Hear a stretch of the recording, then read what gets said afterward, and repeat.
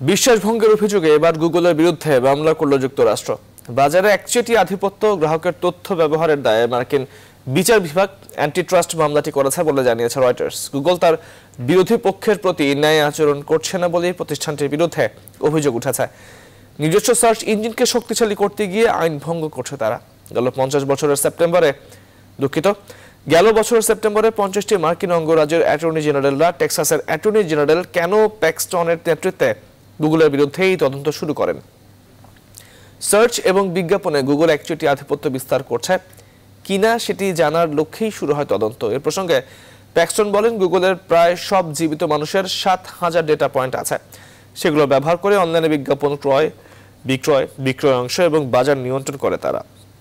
তবে মামলাটিকে গভীরভাবে ত্রুটিযুক্ত বলে অভিহিত করেছে গুগল।